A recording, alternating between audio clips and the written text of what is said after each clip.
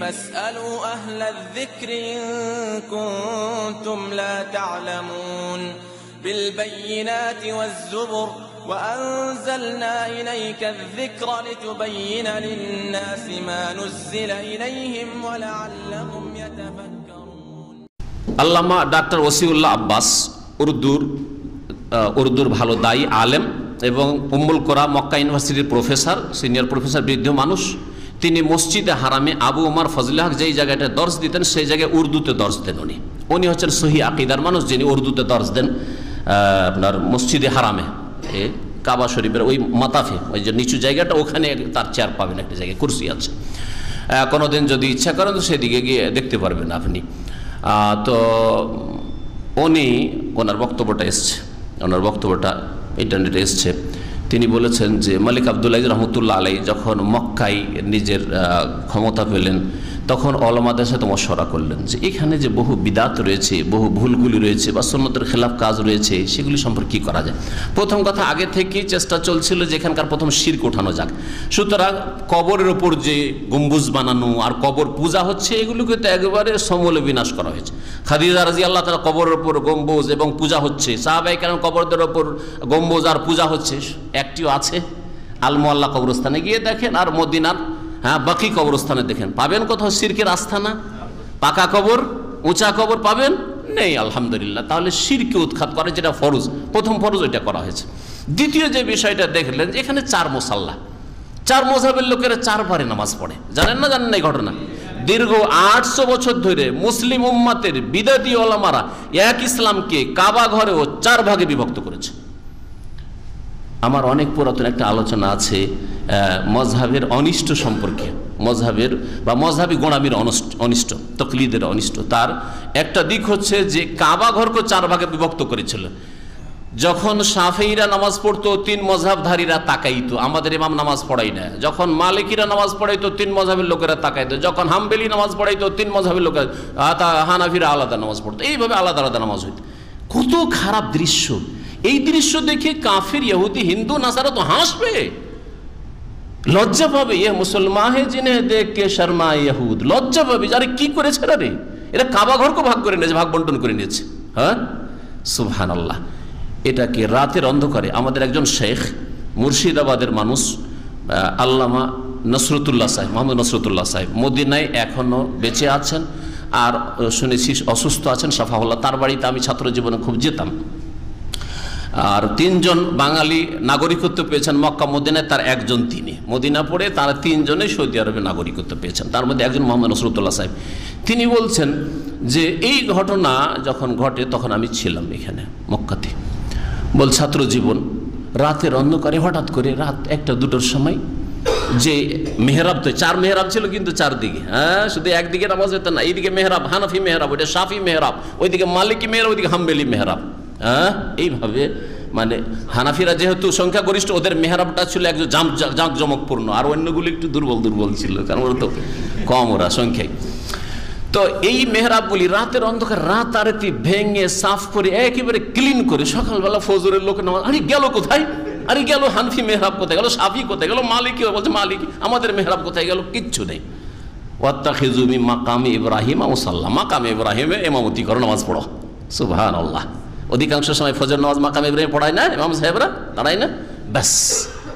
দেখেন, এতগুলি কুসংস্কার, এতগুলি গুমরাহি আর এতগুলি বিদাতকে উৎখাত করা হচ্ছে।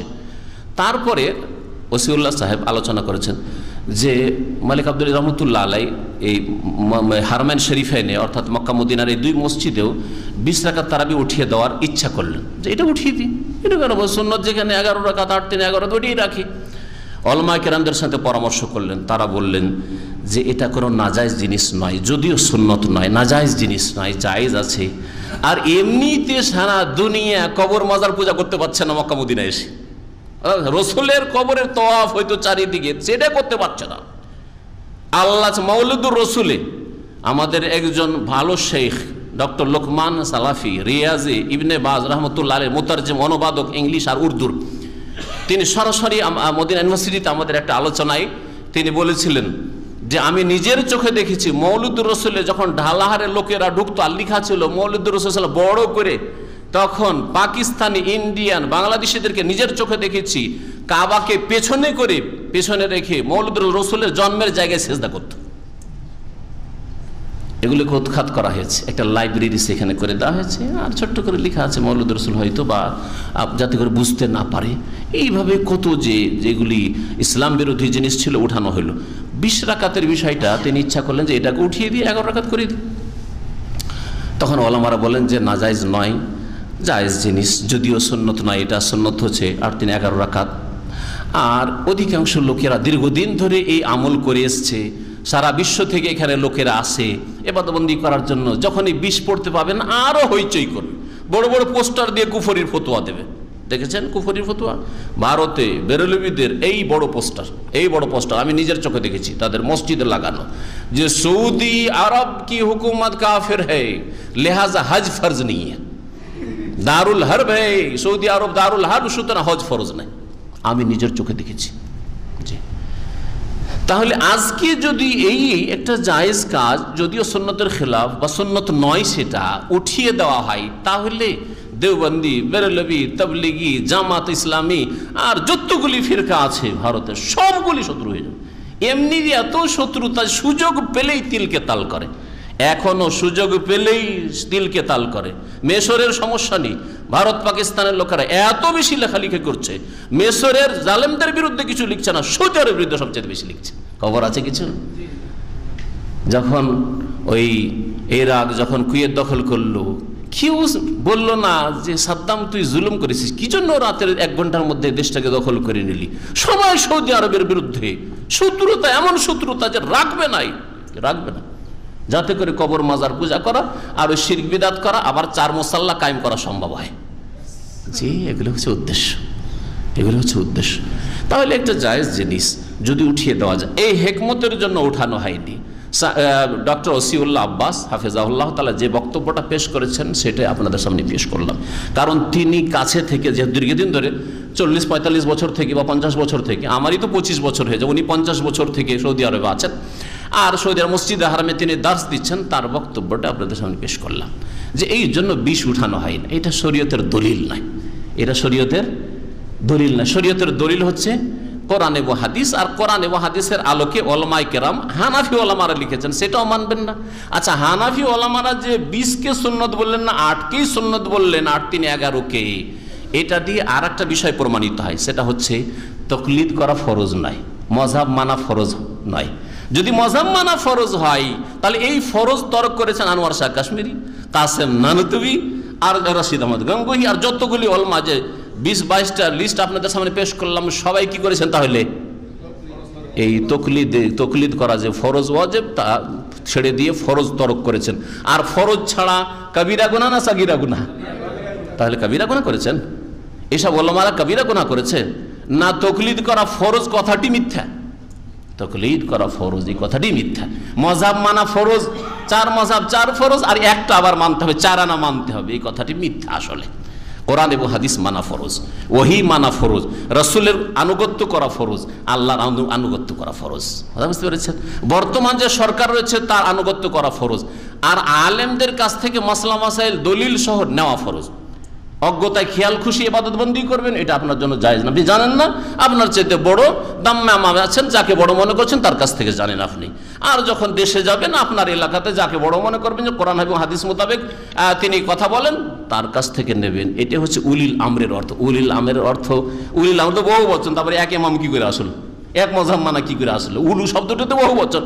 আরবি গ্রামার বোঝে নাই বিদাতিরা দলিলে পেশ করেছে মজাম্মানা ফরজ, কারণ আল্লাহ বলেছে উলিল আমার কি মানে উলিল আমার মানে নেতার আনুগত্য করো। ধর্মীয় নেতা মানে যে কোনো সময় আলেমদের কাছ থেকে। আপনি জেনে নেবেন মাসলা মাসাইল।